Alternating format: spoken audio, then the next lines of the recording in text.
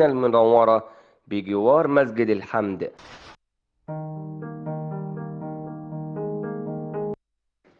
بشرى لكل عملائنا ولكل المصريين سلسلة محلات الحرية تقدم أجمل وأشهى المأكولات المشوية في كل فروعنا.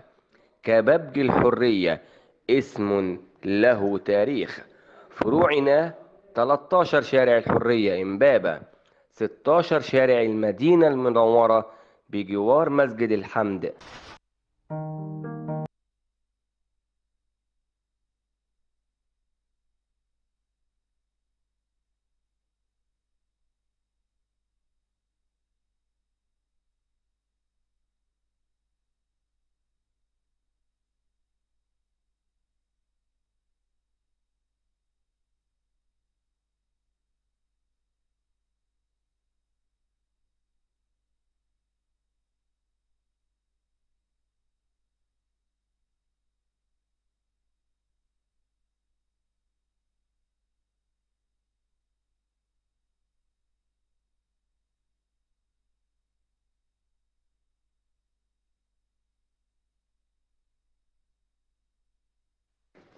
بشرى لكل عملائنا ولكل المصريين سلسلة محلات الحرية تقدم أجمل وأشهى المأكولات المشوية في كل فروعنا. كبابج الحرية اسم له تاريخ. فروعنا 13 شارع الحرية إمبابة 16 شارع المدينة المنورة بجوار مسجد الحمد.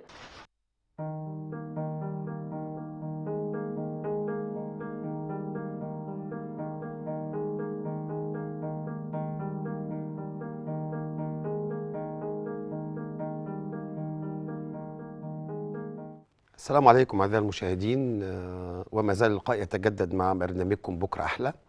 تحيا مصر ومصر تحيا ويا مصر بكرة أحلى. يسعدنا أن يكون معنا اليوم نبدأ من على اليمين المستشار عماد إبراهيم أمين عام التنظيم حزب صلاح أهلا وسهلا بحضرتك. ومعانا الأستاذ أيمن أحمد أمين عام شمال الجيزة لحزب صلاح أهلا وسهلا. ومعانا الأستاذ محمد أبو المجد أمين عام مساعد حزب الثورة بشمال الجيزة. أهلا وسهلا. أعزائي المشاهدين طبعا النهارده إحنا هنتكلم عن موضوع بيخص ويهم كل المصريين. طبعا إحنا دايما لقاءاتنا بتبقى بنتكلم عن مشاكل المواطنين لأن ده هو الهدف الرئيسي لكل المصريين إن إحنا نتكلم في الحاجة اللي بتمس حياة المواطنين. النهارده هنتكلم على مثلث مثلث الرعب في مصر. المثلث ده بيتكون من ثلاث أضلاع. أول ضلع فيهم الفقر والغلاء والبطالة. طبعا هنتكلم النهارده على على المثلث الرعب دوت مع ضيوفنا وهنوضح إيه هي أسباب الفقر ولماذا زاد أو زادت نسبة الفقر في مصر لأرقام يعني عايزين نقول لأرقام مخيفة مرعبة؟ والحاجة الثانية الغلاء اللي بينهش في أجساد المصريين هنقول برضو أسبابه. والجزء الثالث البطالة اللي بيعاني منها أغلب شباب مصر. نبدأ مع الأستاذ الاستاذ عماد اولا حضرتك عايزين نتكلم على موضوع الفقر. إحنا شايفين دلوقتي الوضع الحالي في مصر إن تقريبا إحنا أحسن من دول كتير قوي في العالم. إحنا شفنا أمريكا الوطن الامريكيه النهارده بتعاني. بسبب جائحة كورونا العالم كله النهاردة بدأ يتساقط. وما زالت مصر قوية في ظل الفقر اللي إحنا فيه. النهاردة المواطن بيلاقي لقمة العيش. النهاردة المواطن بيقدر يأدي حياته ويعيش بيها بأقل دخل. هل شايف نسبة الفقر دي أثرت على على الحالة الاقتصادية في مصر؟ وأثرت على المواطن المصري بشكل مخيف؟ اتفضل يا فندم. اولا بسم الله الرحمن الرحيم. حي حضرتك وبرنامج بكرة أحلى وضيوفك الكرام. اتفضل يا فندم. آه، بالنسبة للفقر هو الفقر في مصر بالفعل أثر بالفعل بال- مؤثرة جامدة حكاية الفقر. فعايز أقول لحضرتك إن الفقر ده نتيجة إيه؟ نتيجة حاجات كتير قوي نعم. أول حاجة نتيجة البطالة ده يؤدي إلى ده البطالة دي جزء ده, ده آه. موضوع هنتكلم آه، فيه لوحده. آه، ما هو ده سبب سبب من دي. سبب من ال من ال نعم. من الأسباب. أو ضلع من أضلاع المثلث. آه آه اتفضل. البطالة. كذلك الأمر آه أنا عايز أقول لحضرتك إن إن إن إن, إن برضو آه، السيد الرئيس يا ريس بيلامس الموضوع ده كويس قوي قوي قوي نعم. مش وعارف إن أكثر من 60% من الشعب المصري وهو قالها صراحة إن نعم. إحنا فقراء. نعم. وقررها وقالها فقراء قوي مظبوط مظبوط. فبرضه إحنا نحب نبارك برضه إن امبارح حضرتك افتتح بشاير الخير اتنين آه، بنهني الشعب المصري وبالأخص الشعب الأسك- الشعب الإسكندرية على مشروع بشاير اتنين. وهو حضرتك شغال في الموضوع ده. شغال شغال. حضرتك في المشاريع في المشاريع دي بس عايز حاسس حضرتك الشعب المصري يصبر برضه حضرتك. لا الشعب صابر طبعا. الشعب صبور على فكرة. إحنا النهارده بنتكلم في في في مشكلة بتمس حتى المواطنين نقول لهم لازم نقول لهم أسباب الفقر إيه؟ ولازم نصبر أنا معاك. لأن هي دي المرحلة الصعبة في تاريخنا. النهارده العالم كله بيعاني من مشاكل جامة. العالم كله النهارده بيعاني. مصر قوية جيشها قوي. شرطتها قوية عندنا أمن عندنا أمان. المواطن قادر يعيش بأقل دخل زي ما حضرتك قلت بالظبط. لكن عايزين نشوف أسباب الفقر إيه؟ هل الأسباب جاية من المواطن ولا جاية من من من الأجهزة التنفيذية في الدولة؟ ولا الأسباب دي جاية من نتيجة إيه؟ جاي من الاثنين يا ريس. من الاثنين آه جاي من الاتنين. المواطن آه، مع الأجهزة آه، التنفيذية. آه، آه. إن هم ما بيخفوش الأعباء على على المواطن. وكذلك برضه المواطن مش بيساعد برضه مش بيساعد. مش بيساعد. لا إحنا إحنا لازم نعترف إن إحنا عندنا للأسف شديد يا طبعا بقول الكلام ده للمشاهدين إحنا عندنا مشكلة كبيرة جدا. الا وهي مشكلة إن إحنا بنحب الراحة. شعب بيحب يرتاح. شعب بيسهر طول الليل وينام بالنهار. يبقى يشتغل وينتج إزاي؟ يمكن الرئيس قالها قبل كده على فكرة. ما برضه الأسباب الحقيقية للفقر ده. تمام. شعب بيحب النوم. تمام. إحنا بنلاقي لا- يعني لما لما لما المقاهي اتقفلت أو الكافيتريات في جائحة كورونا الشعب كله كان بي يعني يوم ما اتفتحت الكافيتريات حتى عملوا عملوا ساعتها إجراءات احترازية قال لك هننزل بكثافة 25% الشعب كان في فرح كانت في بعض الناس عاملة أفراح تمام. واللي يقول لك أنا أحجز أنا وأسرتي ولا أنا أحجز في النادي كذا يعني إحنا شعب بنحب ناكل كتير بنحب ننام كتير بنحب أنا آسف نتفسح كتير بنحب نهيص آه، كتير حضرتك يعني دي مشكلة من المشاكل حضرتك. إحنا حضرتك بنحب كل حاجة كتيرة بنحب نعم. نتكلم كتير بنحب نعم. ناكل كتير بنحب عايزين نشتغل. بقى إحنا بنطالب بالشغل يا عماد بيه بس في فئة من الشعب برضه حضرتك برضه آه. من الشباب المكافح نعم. لما بتلاقي شغل بتشتغل. نعم. بس فئة قليلة. الفئة الأكتر حضرتك عايزة شغل على مزاجها شغل شغل شغل معين. آه لا يقول لك. ما. ينفعش اشتغل ب 3000 جنيه ما ينفعش ب 2000 ما جنيه ينفعش ب 2000 جنيه ما ينفعش طب 3000 ابدأ. يا أخي ابدأ. آه. أشكرك يا أستاذ عماد أشكرك شكرا جزيلا نيجي بقى للأستاذ أستاذ أيمن حضرتك اتكلمنا على هنمسك أول نقطة في مثلث الرعب النهارده وهي موضوع الفقر. حضرتك شايف أسباب الفقر إيه؟ المستشار عماد اتكلم وقال بعض الأسباب وقال لك ال- ال- العيب فينا إحنا العيب في المواطن. وحمل وحمل أجهزة الدولة جزء بسيط. حضرتك شايف من وجهة نظرك الشخصية الأسباب الحقيقية للفقر إيه؟ والحاجة الملموسة اللي المواطن محتاج يسمعها ويعرفها. اتفضل يا فندم. هو يا فندم ال- الفقر دوت اساسه المواطن. نعم. الدولة هتعمل إيه؟ نعم. المواطن بيجي له وظيفة ب 2000 جنيه ب 3000 جنيه. بيرفض. يرفض. دي حقيقة، أنت دي بترفض حقيقة، ليه؟ دي حقيقة. أنت ما بدل ما تروح تستلف مني 1000 جنيه وفر نعم. لبيتك 1000 جنيه. نعم. واخد بال حضرتك؟ تيجي تقول له روح شغلانة مثلا ب 500 جنيه ب 600 جنيه ب 700 جنيه في اليوم يقول لك لا. طب ما أنا مواصلات كذا واكل كذا وسجايري كذا وأروح لبيتي كذا. طب روح اشتغل في شرم. يقول لك اشتغل في شرم وأسيب بيتي وأسيب عيالي وأسيب وأنتوا يا جماعة عايزين إيه؟ ما تنسوش ال- ال- الظروف اللي مرت بيها البلاد صعبة جدا. العالم كله بيعاني إحنا يا. فندم إحنا يا فندم البلد الوحيدة اللي صامدة واقفه على رجليها. نعم. تعالى للدول الأجنبية. الدول العربية كلها تما. كلنا ما فيش حد فينا ما عندوش حد قريب بره. نعم. ده أنا عرفت. كمان حاجة إن في دول الخليج النهارده بتسرح العمالة. يا فندم ما فيش شغل. دول الخليج نفسها. يا, يا فندم دول اللي إحنا كنا بنقول كده يعني السما بتجيب لهم فلوس الأرض بتجيب فلوس. ما في سبحان الله. ما فيش يا فندم. اتغير المشهد اتغير البلد, تماما. البلاد كلها توقفت. نعم. مصر الوحيدة بقيادة الرئيس ثابتة. ثابتة واقفة على رجليها. واقفة صامدة واقفة على رجليها بقيادة حكيمه الشعب بالصبر شوية ولا طبعاً، ولا لازم طبعاً. يصبر ولا لازم إحنا ولا. إحنا بنطالب باصلاحات يا سيدي الفاضل كلنا الدولة؟ عايزين بنعاني. نتكلم بصراحة كلنا عشان بنعاني. المواطن يحس إن إحنا بنوجه رسالة حقيقية يا أستاذ ايمن يعني إحنا مش عايزين نجمل كل حاجة يعني أنا معاك إن إحنا عندنا بعض المشاكل لازم نعترف بكده عندنا مشاكل حقيقية ملموسة الدولة بتعمل اللي عليها ولكن هناك بعض المشاكل من بعض الأجهزة لازم نتكلم بصراحة عشان المواطن يحس إن إحنا على, على الأقل بنقول كلام مظبوط يعني إحنا مش مش بنضحك عليه. يا فندم يا فندم الأجهزة بتوفر لك كل حاجة. نعم. عايز شغل شغل متوفر. انت انت شايف ال- ال- الضفرة والنشاط وال- والهمة اللي شغالة في البلد ما شاء الله رغم اللي إحنا موجودين فيه نعم. بنعمل صرح شامخ نعم. داخل مصر. نعم. هل عايز تقنعني إن مفيش شغل؟ أمال الناس اللي بتشتغل دي منين؟ في شغل بالفعل في شغل.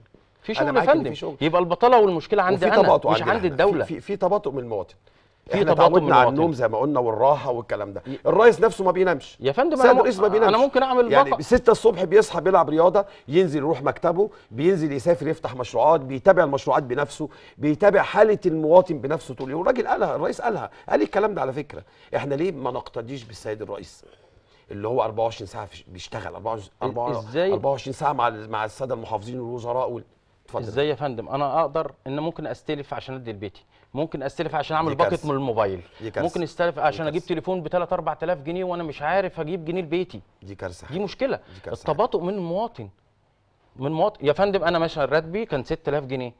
في الظروف الاقتصادية بتاعت البلد نزل ل 3000 جنيه. أشتغل ب 3000 جنيه ولا أروح أستلف 2000 جنيه. لا أشتغل ب 3000 جنيه بدل ما أقعد في البيت. ليه؟ طب ما أنا هستلف يبقى المشكلة في الدولة ولا المشكلة فيا لا أنا مشكلة في المواطن أنا معاك المشكلة في المواطن. ولكن إحنا إحنا بنتمنى يعني إن شاء الله اللي جاي أحسن. إحنا برنامجنا اسمه بكرة أحلى. أكيد اللي جاي. أحلى إن شاء الله. ولكن نطالب على الأقل ب- ب- بحتة التجار بقى الجشع ما الفقر ده ناتج برضو برضو عن التجار. الجشع. أستاذ محمد شايف إن جشع التجار في ظل الظروف اللي الدولة بتمر بيها العالم كله النهارده بيمر بجائحة اسمها كورونا. شايف موضوع الجشع اللي في التجار ده ويمكن الرئيس اتكلم عنه. قال على الأقل إحنا لازم يبقى عندنا ضمير عندنا أزمة ضمير. كله بينهش في كله للأسف الشديد. الدولة بتعمل اللي عليها. النهارده العالم كله بيستلف عشان ياكل. إحنا بنستلف عشان نعمل تنمية. إحنا بنقترض عشان التنمية مش الأكل. الحمد لله كل حاجة متوفرة. الأكل متوفر. في دول على فكرة مش لاقية. مش لاقية بعض الأطعمة مش موجودة في أفريقيا في, في أوروبا النهارده في في في, في أوروبا مشاكل. إحنا الحمد لله عندنا استقرار. عندنا استقرار على الأقل نقول إيه استقرار أمني في ال في الايه في, ال- في الغذاء. إحنا بنشكر الدولة عليها إنها بتوفر لنا كل حاجة. حضرتك شايف إن جشع التجار ده أثر على موضوع الفقر في مصر؟ أكيد. طبعا لأن إحنا الدولة الوحيدة اللي بننتهز الفرص من التجار. يعني التاجر النهارده لما يلاقي في أزمة في أي حاجة بيخزنها عشان يقدر مش مثلا متعاون مع الدولة لا بالعكس نعم. ده بيخزن الحاجة عشان يكسب أكتر مش مهم المواطن الفقير مش مهم مش المهم مش مش فارقة فارقة. معاه أهم المهم إنه يكسب. حاجة حقيقة. والدليل على كلامي إن الفترة بتاعت كورونا إحنا فعلا الدولة الوحيدة اللي أنا فعلا بحيي فيها الحكومة بحيي فيها الرئيس إن إحنا وصلنا للمرحلة ديت إن دول كبيرة فعلا اتدمرت إلا إحنا بفضل من الله أمريكا. نفسها بتعاني بالظبط إحنا كل حاجة في بسبب العنصرية ما بتعاني فيش حد جالك في, في كورونا اخر الشهر. اللي في. السلع التومينيه نقصت في حاجة ما فيش الكلام ده كله. بس نيجي إيه اللي حصل من من في كورونا؟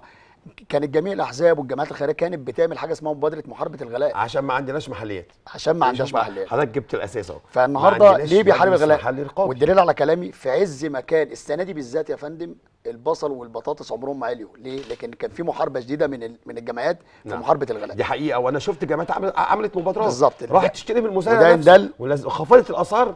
أجبرت التاجر على التخفيض بالظبط. وده- هي دي جمال مصر وده يدل- إن آه كله طبعاً،. طبعاً، طبعاً. وقت الشدة بتلاقي طبعاً. الشعب بيلتحم بالظبط شعبي مع جيشه مع شرطته مع مع السيد الرئيس مع الجهاز التنفيذيه كله أكيد، بيلتحم. أكيد. هو ده الشعب ده الشعب المصري الطيب الأصيل الجميل بالظبط اللي إحنا بنعاني آه من فقر لكن إحنا أحسن من دول تانية كتير بالظبط كده وده اشكرك يا.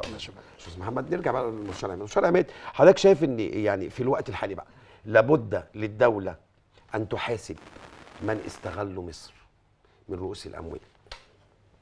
وكمان حاجة تاني الأثرياء الوطن.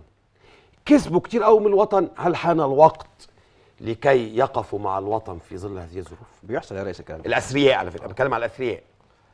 لا لا لا لا لا. هو بيحصل الفساد ال- من المحليات والفساد اللي كان اللي كان جرى السنين اللي فاتت. حضرتك الرئيس دلوقتي بيلمهم حضرتك. لا ده النهارده الرئيس وجه رسالة امبارح. وجه رسالة. النهارده إحنا يعني إحنا النهارده تقريبا عندنا يعني يمكن عملت دراسة وقريت الكلام ده عندنا تقريبا إحنا عندنا في مصر الرقعة الزراعيه كانت 8 مليون فدان انقرضت يا فندم. انقرضت. انقرضت للربع. فعلا. ده الربع حتى المتبقي النهارده بنبني عليه. وإحنا اللي عملناه بإيدينا. يمكن الرئيس قال ده اللي يبني على أرض زراعية تقطع إيده. ده المفروض يعاقب عقاب شديد. لكن. إحنا إحنا عندنا رحمة برضه. الرئيس الرئيس برضه شايف ما زال بقى. بيوجه إنذارات. بقى لنا أربع سنين بنقول يا جماعة يا جماعة الأرض الزراعية إحنا مصر سله غذاء العالم. من 8 مليون فدان زراعة النهارده بقينا تقريبا 2.5 مليون 3 مليون وكل مدى العملية بتقل بسبب إن إحنا الجشع بقى. عنده حتة أرض بنى بيت لقى أسعار ال- المباني غالية. طبعا فزراعتي اللي هتجيب لي؟ ازرع برسيم ازرع ذرة هزرع قمح هزرع كذا هكسب مكسب ضئيل؟ لا أنا أحول الأرض المباني وابدا ان أنا اوزع وابيع بالمتر بدل ما كنت ببيع بالفدان الزراعي. دي بقت مشكله كبيره. عليه والرئيس اتكلم عنها. تمام. هل ش... دي برضو سبب على فكره من ضمن الاسباب الجشع اللي بنتكلم عنه اللي ادى للفقر ان ال- ال- القوي بياكل ضعيف حضرتك. آه آه. حضرتك شايف الأثرياء بقى؟ هل النهارده حان الدور للأثرياء أن يردوا الجميل لمصر؟ اتكلم بصراحة. هو المفروض انه يرد الجميل لمصر. يردوا الجميل. ده المفروض للوطن. بقى. آه ده المفروض يا ريس. يقفوا جنب الغلابة. آه آه ده المفروض يا ريس. يقفوا جنب آه، الغلابة. آه بس الكلام ده مش هيحصل يا ريس.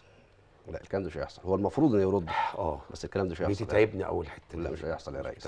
لا, مش هيحصل يا. ريس لا. ما الناس استفادت من, الوطن كتير قوي واستفادت مصر كتير قوي وبقوا أثرياء بدرجة فاحشة. المفروض يقفوا مع الدولة بقى.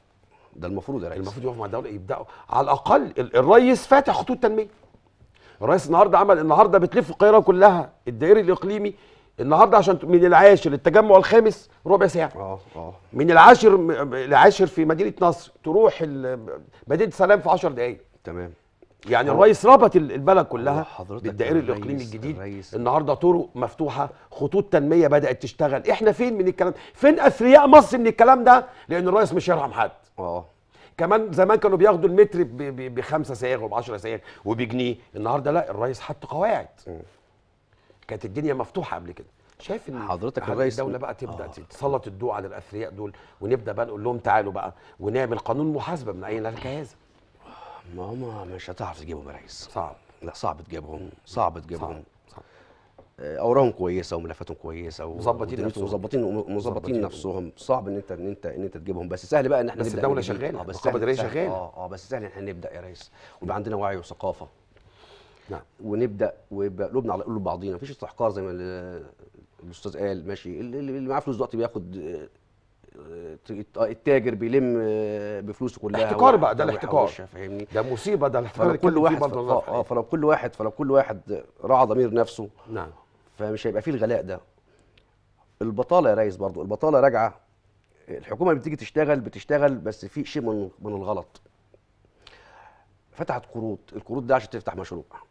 بتديك الفلوس. أنا مش عاوز ياخدها اتجوز بيها. أنا مش عاوز أنا مش عاوز وبعد كده أنا, مش عاوز حضرتك أنا مش. عاوز حضرتك البنك يديني فلوس. أنت دوست على الج- على الجرح يا يا عماد بيه مع المشروع دوست على آه. الجرح. ياخد قرض عشان يعمل بيه مشروع والدولة فتحت الكلام. ده آه. بنك ناصر والبنك مصر والبنك كله فتح. ما فيش قروض واحد عمل. مشروع يا ريس. مفيش حد مفيش عمل مشروع. بياخد خد الفلوس ويصرفها يا آه ريس يا اما صرف يتجوز بيها. آه، وبعد آه. ما يتجوز بسنتين طلق لأن آه. الفلوس راحت يا يتحبس بيها. للأسف للأسف. آه، أشكرك آه. يا عماد بيه نرجع بقى حضرتك شايف نفس السؤال اللي توجه للاستاذ عماد شايف إن حان الدور على الأثرياء. أن يردوا الجميل لمصر. طبعا طبعا. هو منين إزاي؟ هو منين إزاي بيسري طيب؟ إزاي؟ هو منين بيسري من مصر من الوطن. المفروض يرد الجميل المفروض. في ظل هذه الظروف. في ظل هذه الظروف. ولكن ال- الرئيس مش هيشتغل في 100 جبهة. طبعا طبعا, طبعا, أن- أنت كده بتضغط على الرئيس. هيشتغل في 100 جبهة؟ نعم. وبعدين أصلا رؤساء الأموال كلهم رجال اعمال يبقى أنا هدمر الاقتصاد بتاعي وأنا شغال. أنا مش عايز أقف. بس هيجي دورهم. نعم. إن ما كنتش أنت هتقدم الإيد لمصر نعم. الرئيس هيجيب إيدك. أنت بتواجه كده إنذار بقى. آه طبعا بنقول إنذار كده. طبعا. بنقول إنذار لمين بقى؟ لإيه؟ لأثرياء ورؤوس الأموال في مصر. هتيجوا هتيجوا لو ما لحقتوش من دلوقتي الحقوا نفسكم من دلوقتي وصعدوا مصر في الظروف دي يا جماعة إحنا في ظروف قهرية. العالم كله بيعاني. العالم كله النهارده بيعاني وإحنا ما زلنا واقفين على رجلينا.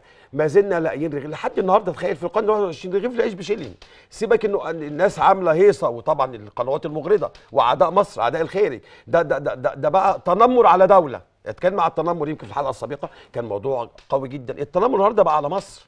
النهارده التنمر على الدول يا أستاذ أيمن. يا- على الدول نفسها. يا فندم إحنا الدول كلها بتحسدنا على اللي إحنا نعم. فيه. دي حقيقة. ما فيش حد يا. فندم كذاب اللي يقول لك أنا بنام من غير عشاء. نعم. ده كده. لا لا ما فيش كلام. مفيش حد بيقول من غير عشاء فعلا. مفيش كلام. كذاب. أنا هجيب رغيف عيش وحته جبنه نستون بي يعني أجيب علبة جبنة نستون ب تقنعنيش ما 7 معكش جنيه 5 جنيه في وبجنيه. عيش هتعشى أنا يا. فندم 5 ما هي جنيه. دي إيه؟ المشكلة بقى الرضا. ده. أقل عملة في أي دولة تانية.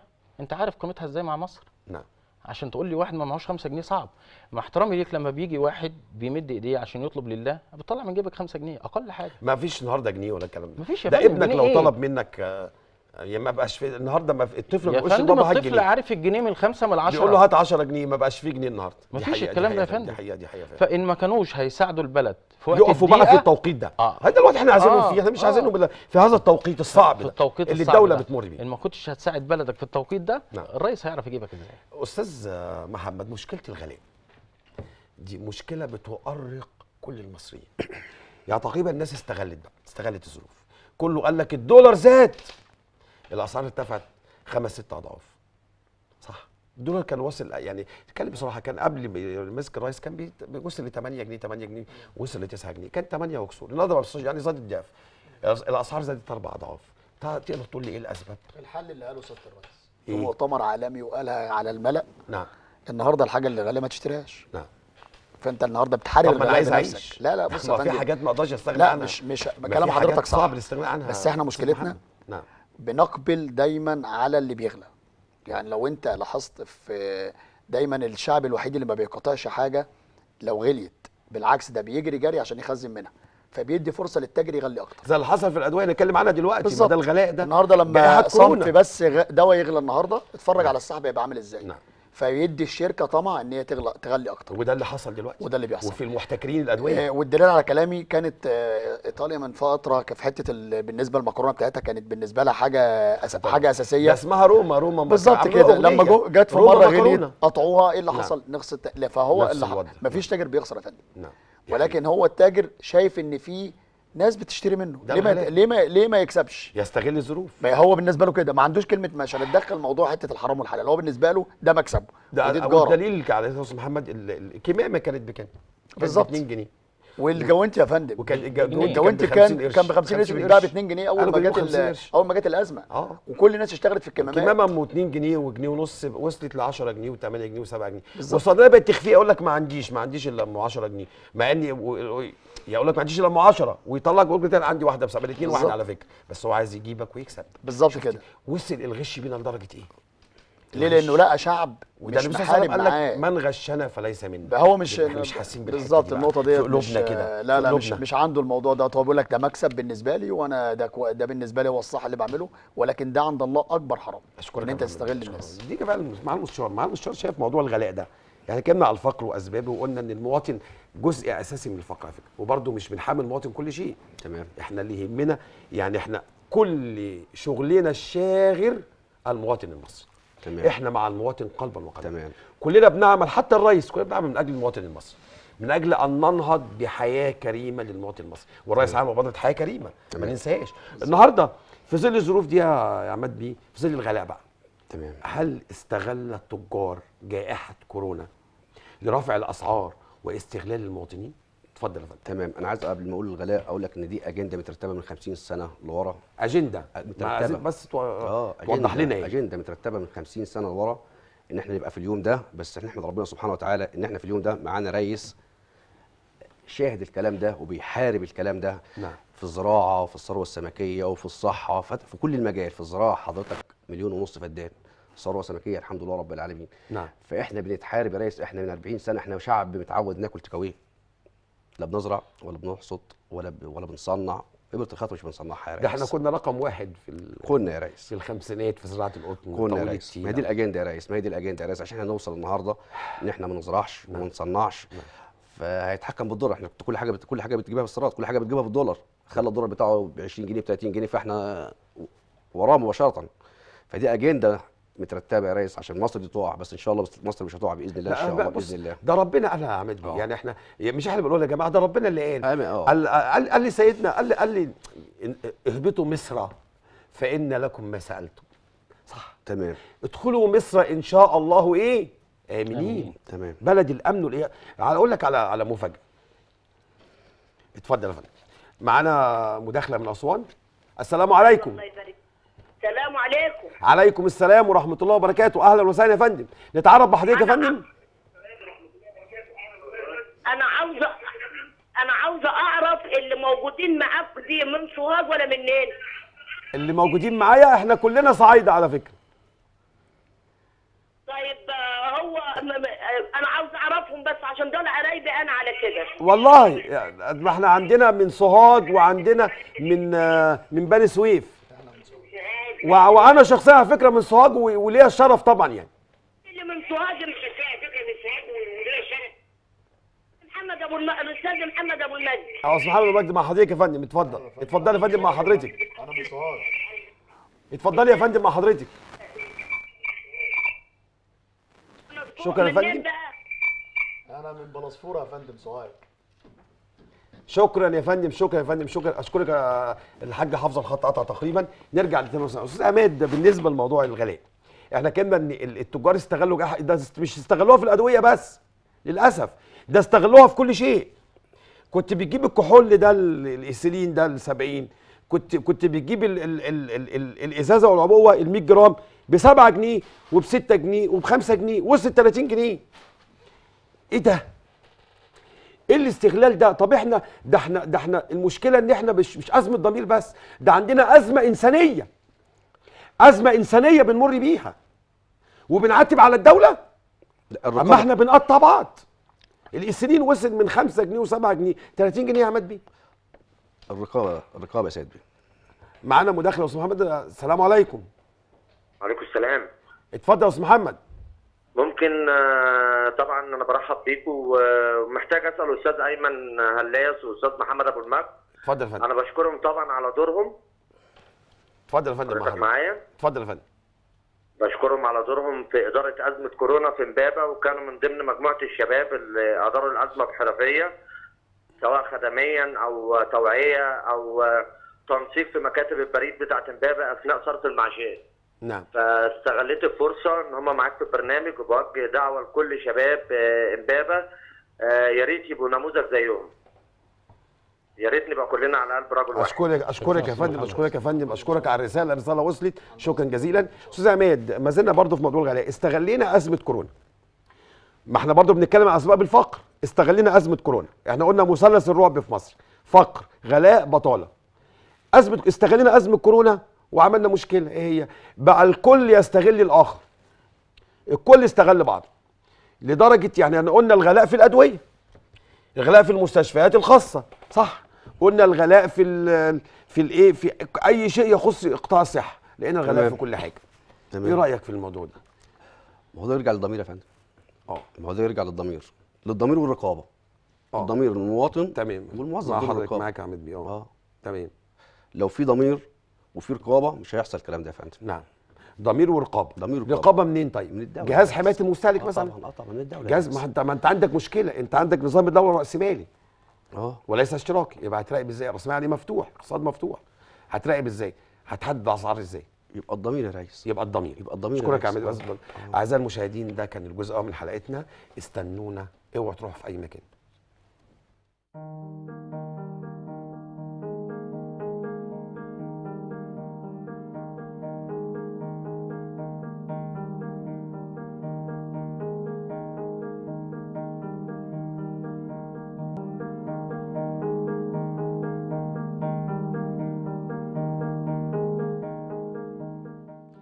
ورجعنا لكم أعزائي المشاهدين في الجزء الثاني من حلقتنا وما زال لقاء يتجدد مع حضراتكم في نفس موضوعنا النهارده وألا وهو مثلث الرعب في مصر. قلنا الفقر وقلنا الغلاء وقلنا البطالة. طبعا إحنا خلصنا قيمه شرحنا موضوع الفقر وكلمنا عنه قلنا أسبابه برضه مش بنحامل المواطن كل شيء على فكرة المواطن غصب عنه. أنا أنا المواطن تعبان المواطن بي بي بي في, في ناس بتشتغل شغلانتين وعايشه الحمد لله بصعوبة فإحنا مع المواطن في النهاية. وطبعا في بعض السلبيات موجودة ولازم نعترف بكده. إحنا برضه بنتمنى أن يتم معالجة هذه السلبيات حتى نصل بالمواطن المصري إلى بر الأمان.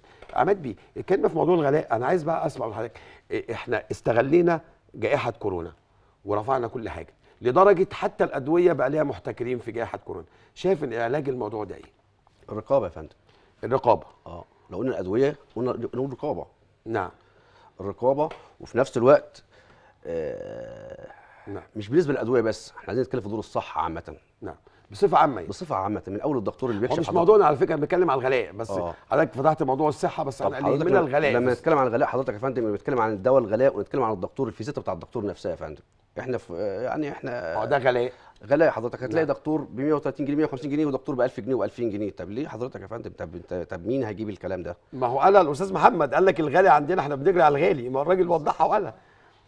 ال- هو عايز أرد عليه. واحد حضرتك. الغالي الرقابه بيتكلم عن الرقابه الرقابه مش من الدولة فقط. نعم. مفيش دول بتشتغل لوحدها رقابة. يعني أنا النهارده لو ما عجبتنيش السلعه هي ليه دايما حماية المستهلك عاملة أرقام وعاملة وعاملة؟ مفيش طب إيه دور الجمعيات؟ ما هو دور الجمعيات إن هي برضه بتساعد في حتة كل الجمعيات اللي عندنا جمعيات مساعدة وخيرية. ما هي برضه ليها دور رقابي الجمعية ما هو. ليها دور رقابي بس هي. اتجهت لحاجة تانية خالص. نعم. اتجهت إن هي تساعد الناس بحتة الش... كلمة الشنطة والمساعدات الشهرية وده أصلا مش دورها. مش دورها بس اللي تقتصر عليه. يبقى في جمعيات كتيرة مش واخدة الجزء اللي في اللائحة بتاع الرقابة. فالنهارده المفروض إن إحنا نفعل القصة ديت. النهارده لما يجي التاجر الجمعيات الحقوقيه يا مثلا فندم لما يجي التاجر يلاقي نفسه مش مراقب من الحكومة بس مراقب من المواطن نفسه كمان. المجتمع. المدني. بالظبط كده. مظبوط. أنا سلعتي مش عاجباك هبلغ عنك. يبقى حضرتك لكن أنا ما بتطالب عندناش الموضوع دوت. أنت برضه بتطالب معاه بدعم المجتمع المدني للقيام بدور رقابي مع الدولة؟ طبعا طبعا. ماشي يا فندم معانا مداخلة؟ السلام عليكم. ألو؟ أي يا فندم مع حضرتك. الخير مساء النور يا فندم. آه، تحية لضيوفك الكرام. آه،. أنا قبل أي حاجة بس أنا عايزة ألخص موضوع حضرتك اللي هو مثلث الرعب في مصر. نعم يا فندم اتفضل يا فندم. هو التسميه الصحيحه ليها إحنا محاطين بحزامين ناريين ولازم نفهم كده كويس قوي نعم حزام خارجي وده مقدور عليه عارفينه. الكارثة الكبرى في الحزام الناري حضرتك اللي محاطين بيه من الداخل اللي بين جلدنا ولحمنا. وأكيد حضرتك فاهم قصدي إيه. نعم يا فندم فاهم يا فندم. اتفضل يعني. إن إحنا محاطين بكل بكل أنواع الإرهاب اللي موجود عندنا في البلد. نعم يعني حقيقة. الموضوع اللي اتكلم فيه سيادة الرئيس امبارح أنا كنت عاملة مداخلة معاكم قبلها بيوم نفس الموضوع كنت بتكلم فيه.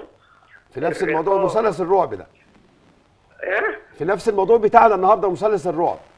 آه لا مثلث الرعب ده رعب نعم. في كل حاجة. نعم. ال ال الرقاب شوف هقول لحضرتك حاجة.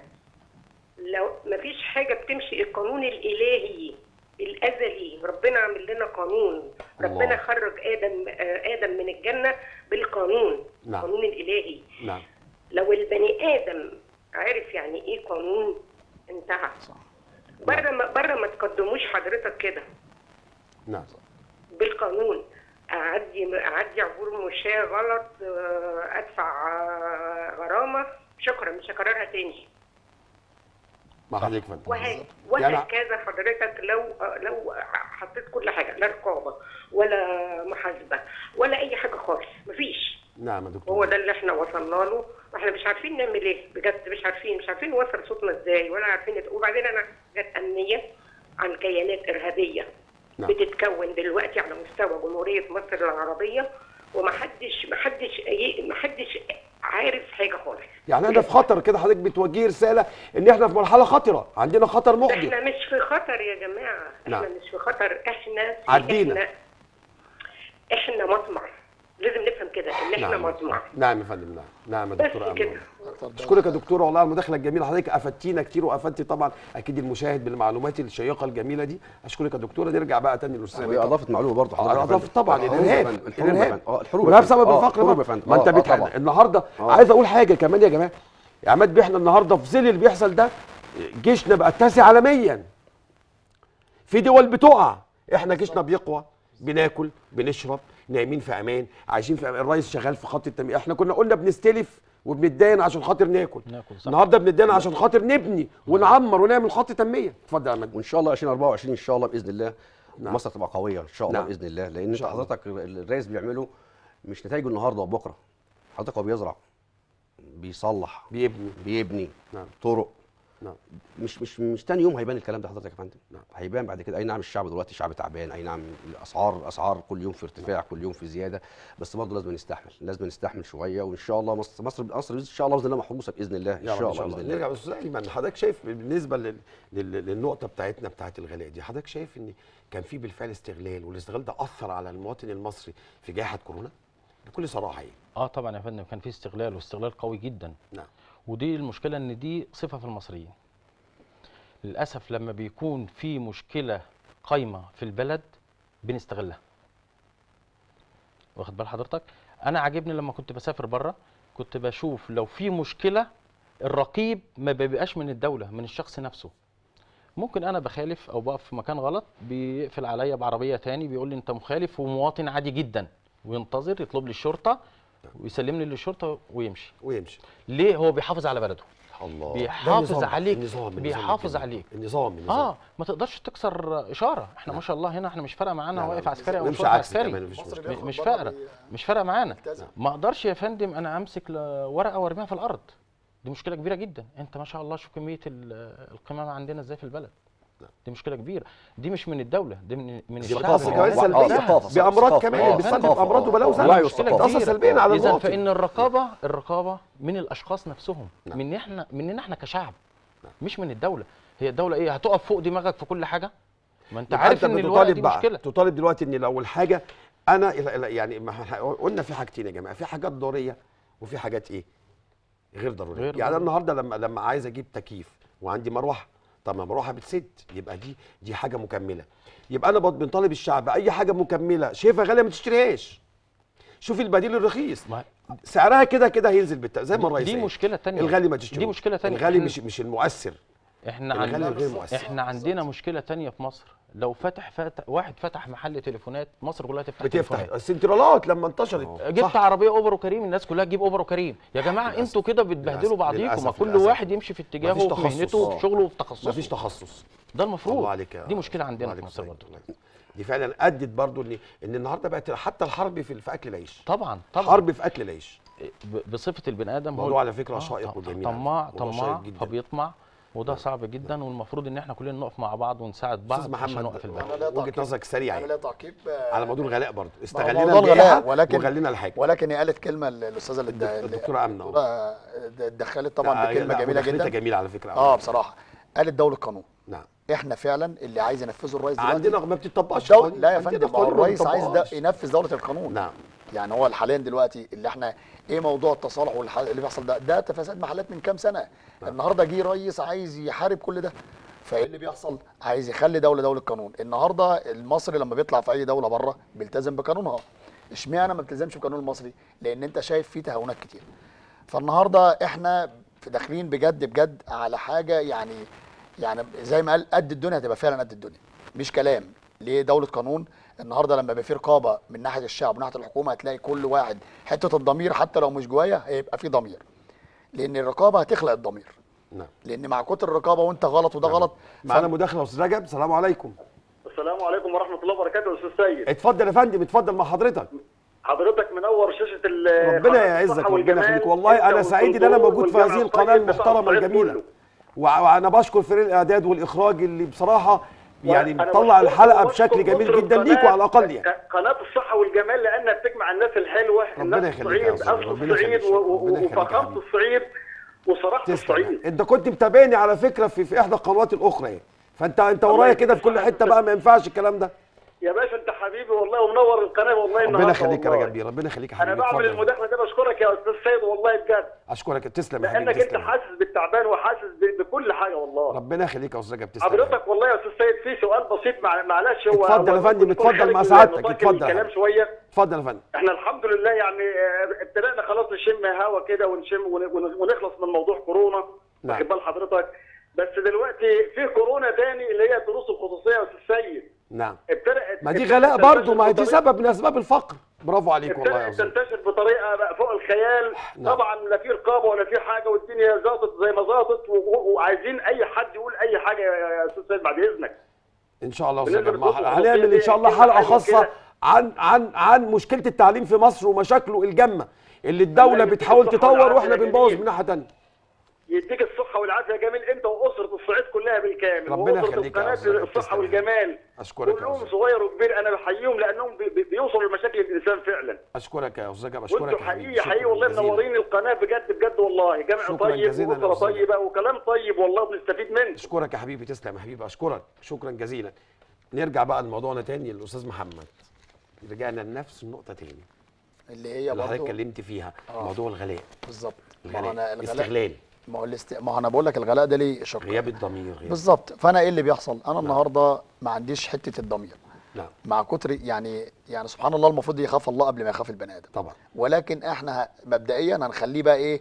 مع كتر اللي ده بيقول له غلط وده غلط وفي محاربة هتلاقيه هو نفسه اتعدل.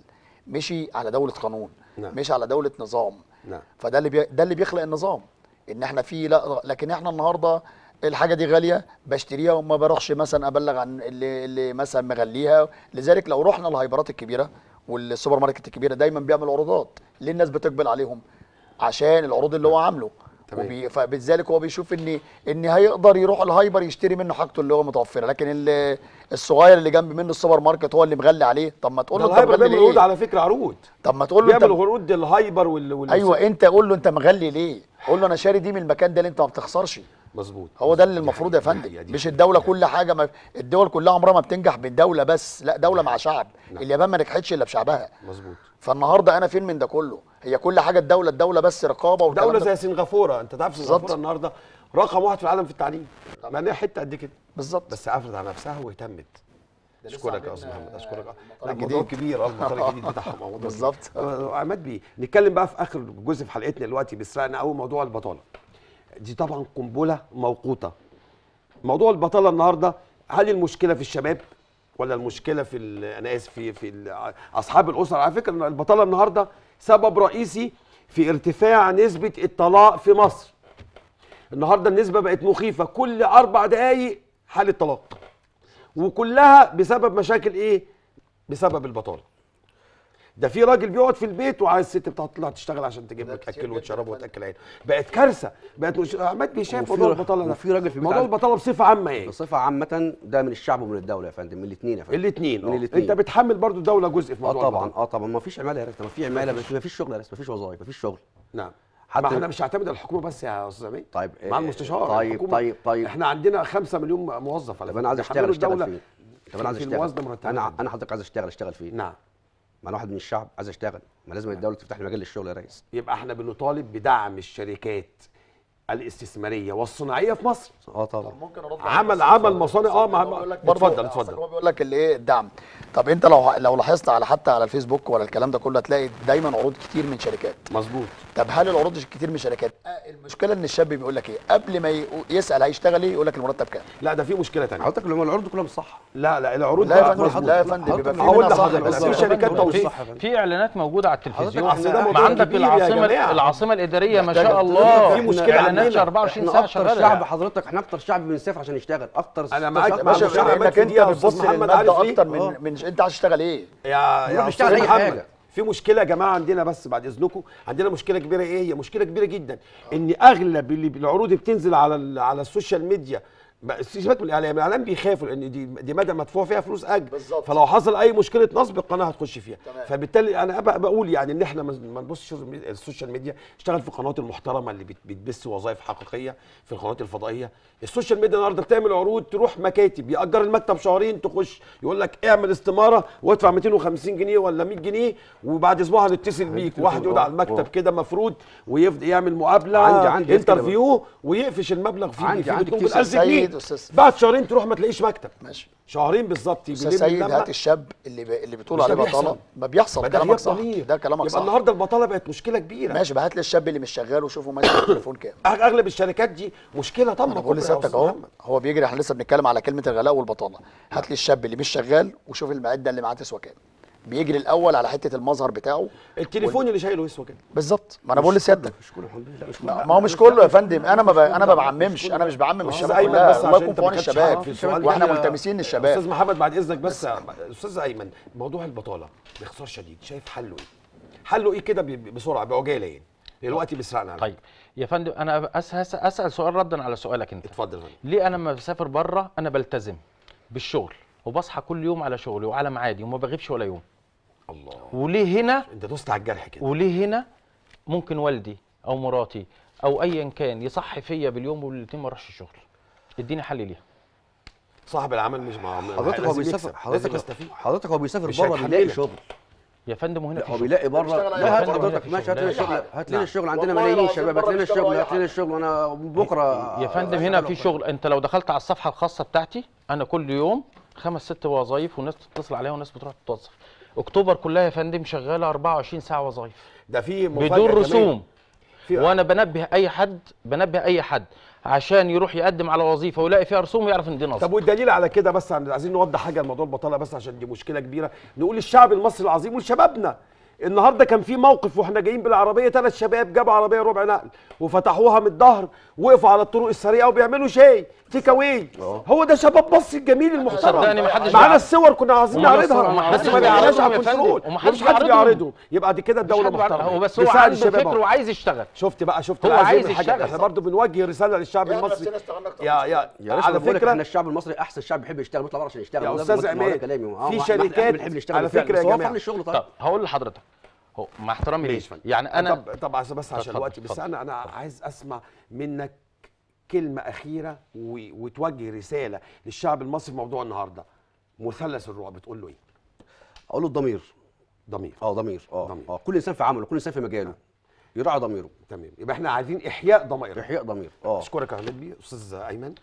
لازم قبل أي شيء أراقب نفسي قبل ما استنى الدولة تراقبني حاسبوا أنفسكم طبعا. قبل أن طبعا. تحاسبوا. طبعا. أستاذ محمد. إن إحنا كلنا نتكاتف ونبقى فعلا على قلب رجل واحد دي حقيقه لازم. نعم، نعم. هي الشعوب ما بتتبنيش إلا كده قوتنا لازم لازم، نتحد دي لازم حقيقة. نتحد مع بعض. وده ده مع مع, كو- مع الدولة طبعا. بالظبط. طبعا يعني. طبعا بالظبط. طبعا طبعا. آه شكرا جزيلا اعزائي بشكر طبعا مشارع عماد على حلقة النهارده وعلى وجوده معانا في الاستوديو. بشكر أستاذ أيمن. أستاذ محمد بشكرك جدا. أعزائي المشاهدين ده كان لقائنا النهارده مع حضراتكم وموضوع مهم جدا موضوع مثلث الرعب. نتمنى إن إحنا نكون قدرنا نوص... يعني نحل بعض أو نفيد بعض المشاهدين ببعض الأشياء. في النهاية إحنا بنشكر آه، فريق فريق الإعداد المحترم اللي كان معانا النهارده والمخرج المحترم اللي ما سابناش وفريق الاعداد بالكامل. وكلمة أخيرة تحيا مصر.